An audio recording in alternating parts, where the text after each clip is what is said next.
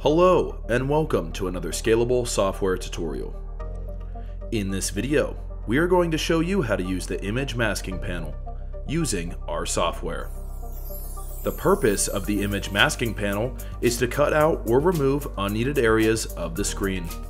This feature is useful when cutouts are needed on screen in the final image, like blacking out the front of a cockpit. This process is normally done when a data collection and a normal calibration have been completed.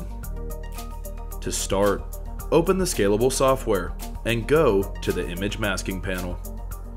Next, determine the area that needs to be masked out. If you have a larger wide screen, it may be beneficial to increase the mask resolution before beginning. Changing the resolution will reset the mask, so it's advisable to test the resolution beforehand. Use the slider for width and height to adjust the mask resolution. The default resolution is set to 2048 by 2048. Try to aim for a resolution that roughly matches the aspect ratio of your screen. Often, a mask that is half or a quarter of your total screen resolution is sufficient. Using extremely high resolution masks is rarely necessary and can increase calibration time and file size. Click on the Apply icon to apply the changes. Repeat this process until you determine the correct mask resolution for your system. Once you have established your mask resolution, select an edit mode that suits your system. Edit the mask image until you are satisfied. Using the Shape Edit mode, Create the initial shape, the rectangle, by clicking and dragging the points. You can move the shape by clicking and dragging the corners. You are able to add new corners by clicking along the segment.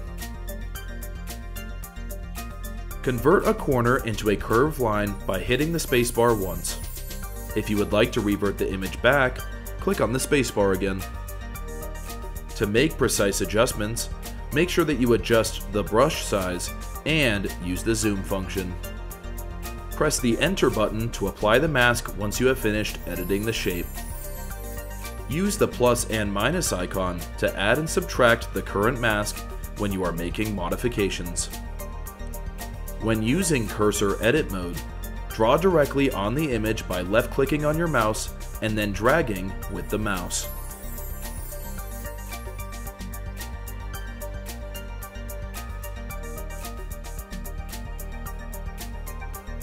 Make sure to adjust the brush size and use the zoom function when trying to make precise adjustments.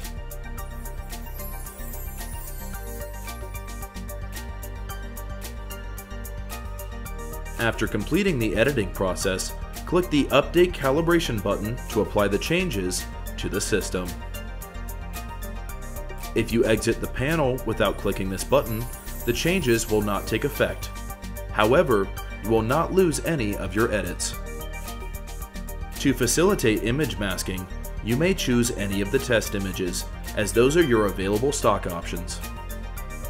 If you would like to upload your own test image, you can click the Browse for Image File button and select your own desired file. To test the entire image with the scalable GUI hidden, simply click on the Hide Window icon. If you wish to revert back to the original test image, you can do so by clicking on the Restore Default button. If you have any issues, please contact the support team. That's all we have for this video. We hope you enjoyed, and we will see you next time.